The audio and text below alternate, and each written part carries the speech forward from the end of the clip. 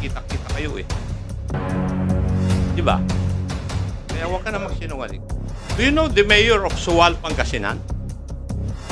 You are very close with him.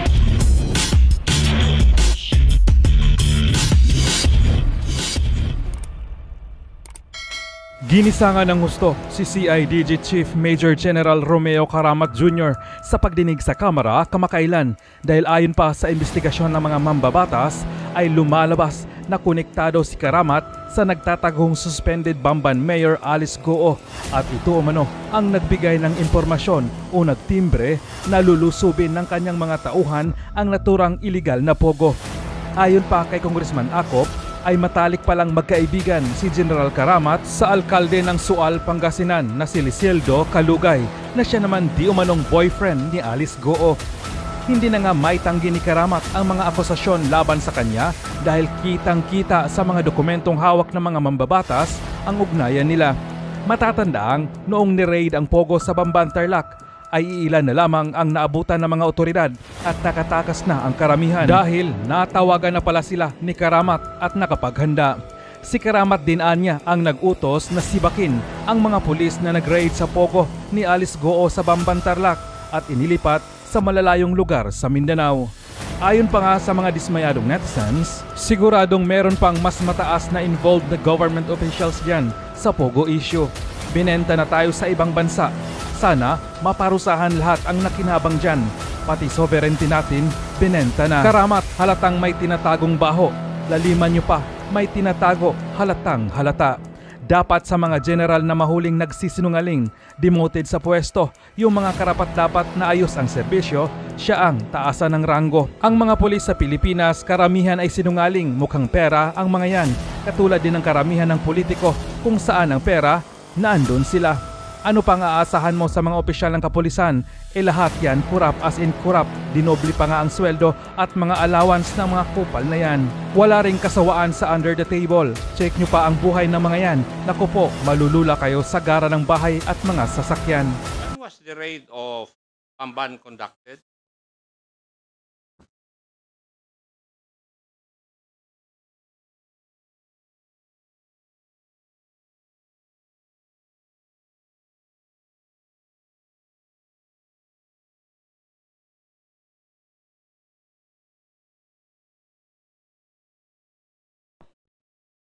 Ah, Your Honor, uh, it's March 13, 2024, Your Honor.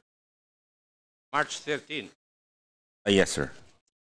Would it be true that the information that you had a meeting for March 13 uh, in a certain camp in uh, Region 3?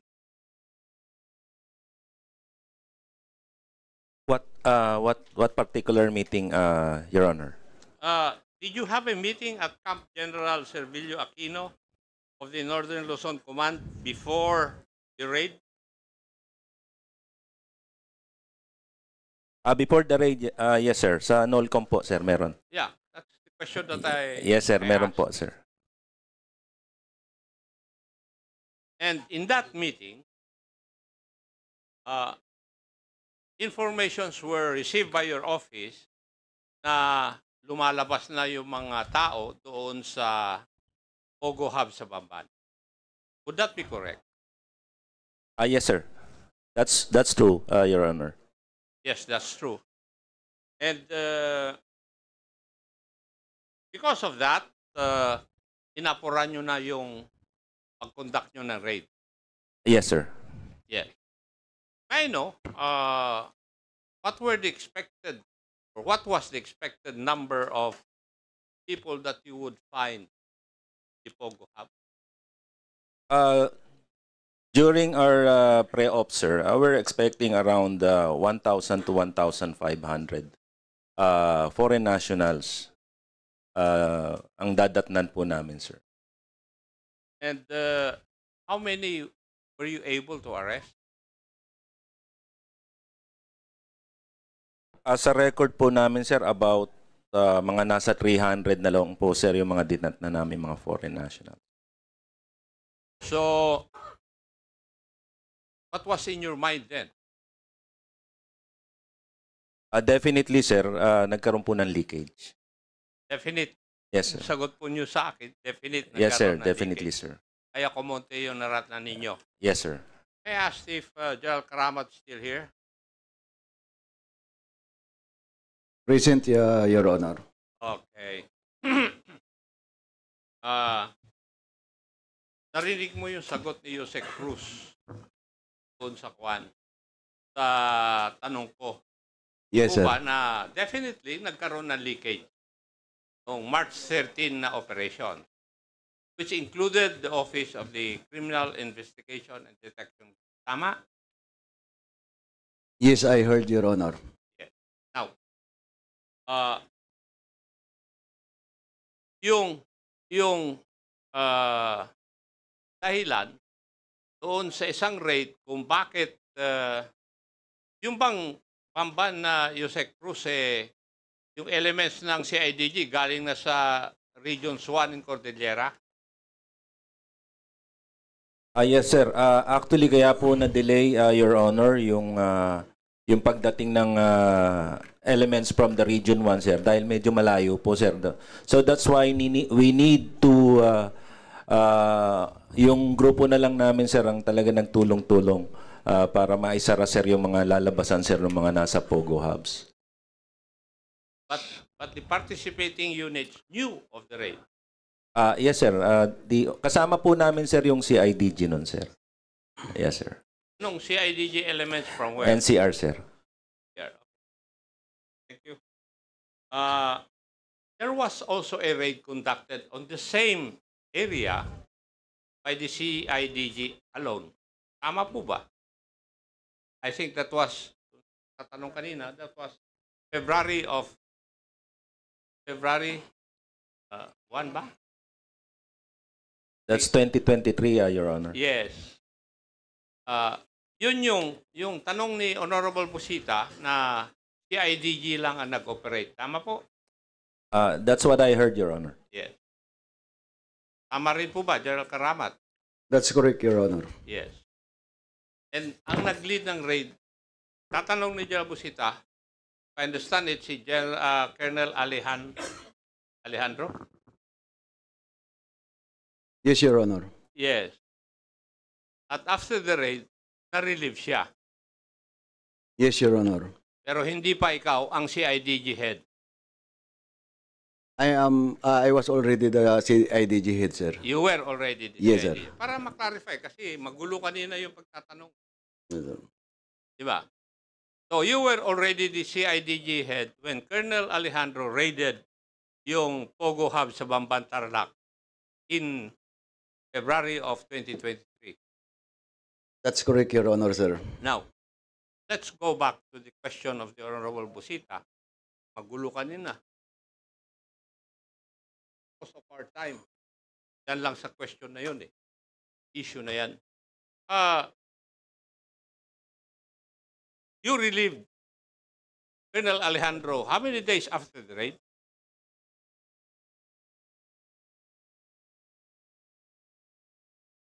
A day after the operation, sir. A day after the operations. Yes, sir.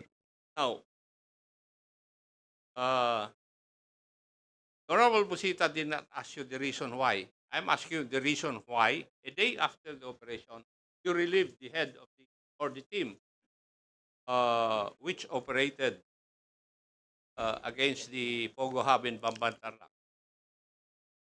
Yes, sir, because uh, there was already uh, uh, scheduled a revamp among all my commanders, sir. Actually, it was not uh, Colonel Alejandro was that uh, wa- was issued order on that day. There were several uh, regional commanders who were included in that reshuffle, sir. Uh,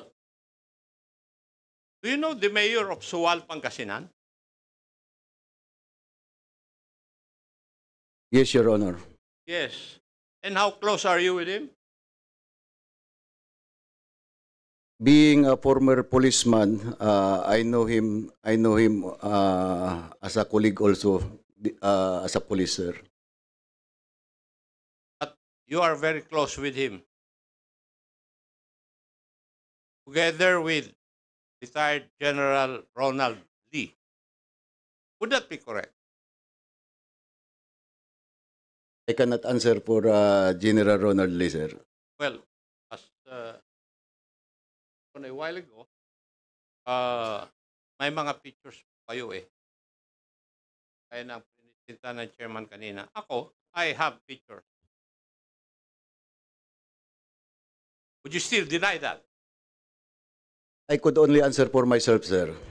But uh, I suppose General You Lee was uh, once the provincial director in Bulacan, sir. I'm in uh, Pangasinan, sir, so I suppose uh, he knows him, sir. Kikita-kita kayo eh. Diba? That's correct, Your Honor. Yes. Kaya huwag ka na magsinungaling. Ah, marami nang naipadala sa akin na information eh. Kaya, so. So the reason why uh, Colonel Alejandro after the raid in Bamban uh, was issued because meron ng plano na i-reshuffle ninyo. That's your official answer. Yes, Your Honor, sir. And you think this representation would believe that? Come again, Your Honor, sir. And you think this representation, eh, paniniwalaan po yun? Sinabi nyo? I believe so, sir, because I was the one who authorized that operation in Banban. Uh, I give them clearance, sir. So, uh, there is no reason na talagang i-relieve ko dahil dun sa operation nila dahil ako mismo ang nagbigay ng uh, clearance sa operations na yun.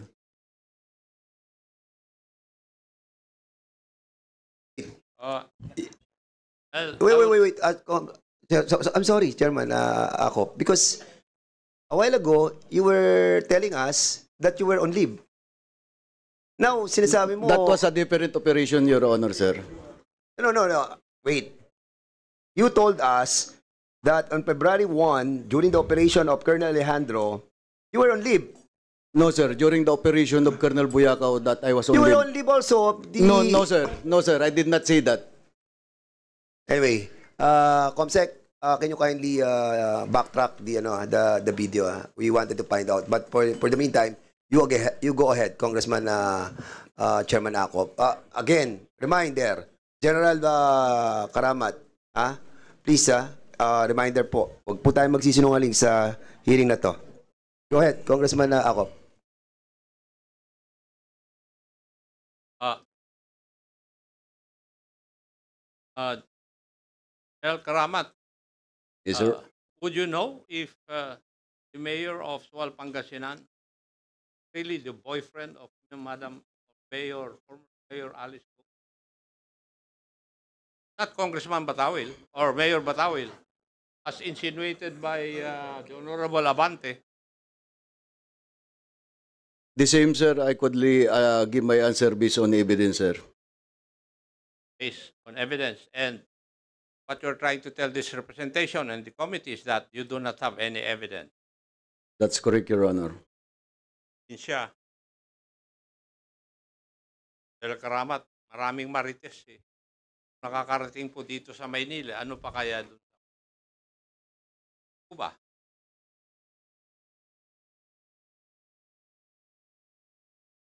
I, I will stick with my answer, Your Honor, sir, that I have no evidence, sir. Kasi, ah, kung titingnan po ninyo kasi, yung pagtatanong ko kay Yusek Cruz, definitely nagkaroon ng leakage. Yun ang statement niya. Saan po kaya manggagaling yung leakage? Kundi doon sa mga nakakaalam na merong operation against the Bamban uh, Pogo Hub. Di po ba? Sir, the operation... You are an investigator. Alam mo na yung mga ah, yung mga connections na yun. Sir, I was not informed on that uh, on that operation, sir. I was on leave abroad, sir. Uh, zero knowledge talaga kami, sir. Even my command group, sir, uh, were not informed of that operation, sir. Yusek Cruz, why were there two uh, search warrants you secured for such an operation?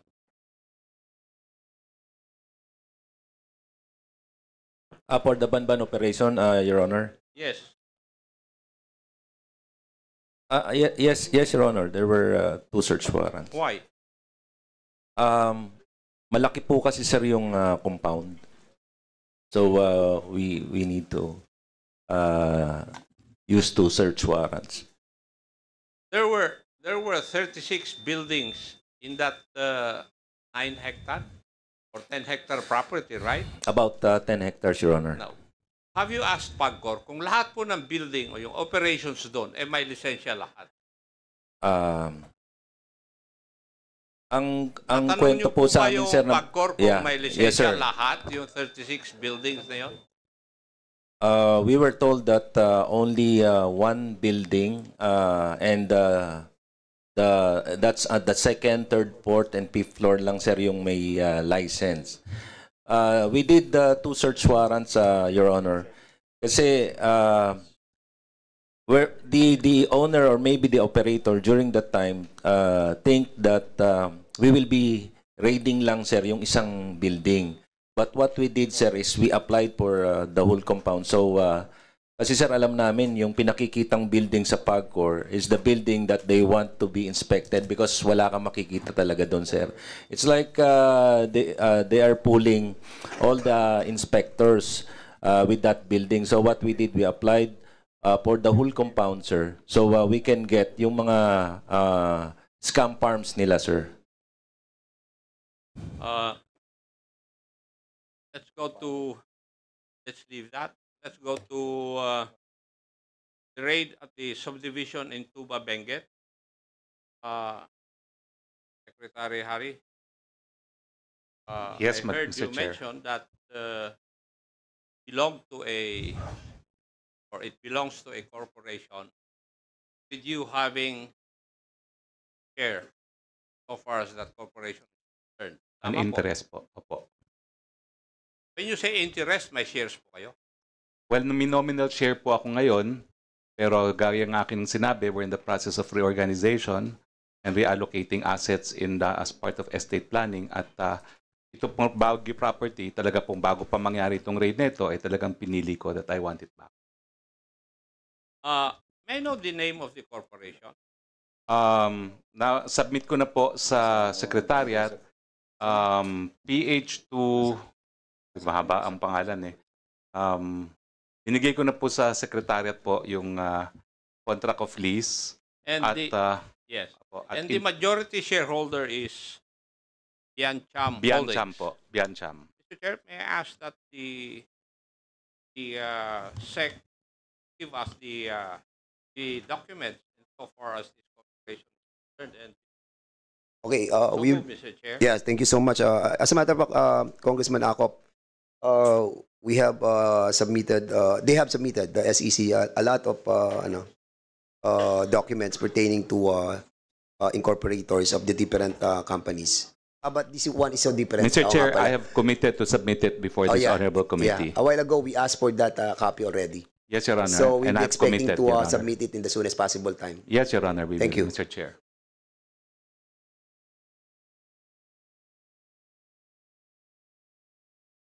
Mr. Chairman, according to the Chairman Paduano, documents should come from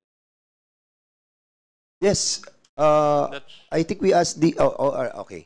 Uh, SEC, can you kindly uh, give us also the uh, documents pertaining to the uh, corporations that was uh, registered to uh, to your agency? Asan ang SEC? Ayun, ha? You, you know the name of the uh, company already, correct? Yes, uh, we'll give you the, the name of the company. Furnish us as soon as possible. Thank you. And uh, as Secretary, I heard also that you would eventually it would become yours. Yes, Your Honor. You intend to buy all the shares.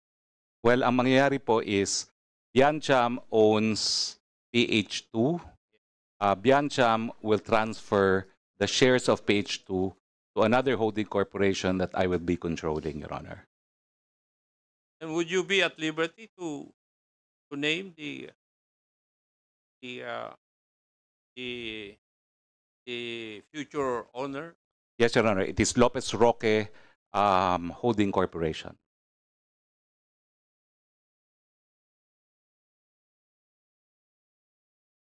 I go to uh, Andrea. Opo, sir. It has been uh, sinasabi po ng lahat media na it was during your time mami po yung pogo. Tama po ba? Ah, hindi ko po alam kung saan ang basis noon. Pero ang gawa po namin ay yung mga existing noon na pogo na offshore gaming operations nagpa-license po sa amin at siguro po meron mga bagong nagpa-license. Pero po yung sinasabing proliferation, tulad po ng nabanggit noon, marami na po yan talaga sa Makati nung pang before 2016 at sa meron na rin po sa Clark. So, hindi ko po alam kung ano yung base ng proliferation, from what base ng number ng akala nila na meron hanggang doon sa nag, nag-regulate na ang PAGCOR. Kailan po kayo naging chairperson ng July 1, 2016 po. July 1, 2016? Thereabouts, inilabas po yung executive order number 30. After one year, ah, nilabas po yung executive order ah, number 13 noon pong February 2017. 2017? Opo. Sigurado po kayo. Opo. So, before that, meron na mga pogo. Before po yun, talaga pong ah, may Kasi yung nag-call mga po ng... previous hearing namin, may mga nagsasabi na wala pang pogo noon. Baka meron na, pero hindi lang pogo ang pangalan. Opo, ang pangalan po nila, ah, pasensya na po kayo kasi, Yes, ma'am.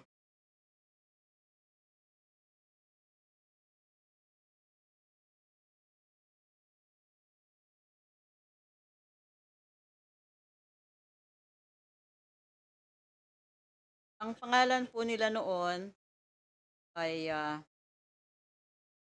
iGaming Service Providers.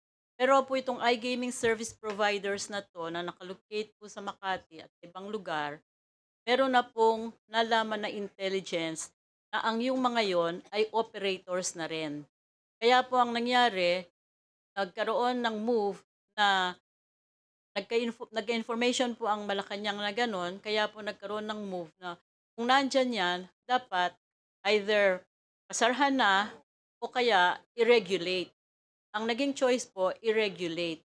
Kasi po, ang nagag- nangyayari po na sinasabi nila na service providers sila, kahit na po sila ay operators na ng offshore gaming, para po hindi sila magbayad ng franchise tax. Ang nakukubra po ng gobyerno ng panahon na yon ay 50 million pesos a year. Nung pong ni-take over po ng PAGCOR, nag-run, nung pong as of, hindi ko lang po alam exacto number, pero nung as of June 30, 2022, nung pong nag-retire ako from PAGCOR, mahigit 20 billion, billion na po ang aming kinita. Yun po ay simula 2017, 18 at 19. Dahil after po nun ay um, pandemic na at talaga naman pong nagsara. Nag-resume lamang po ang ang operation at partial capacity noon pong later part ng 2019 nung pumayag ang IATF na ito ay considered na BPO.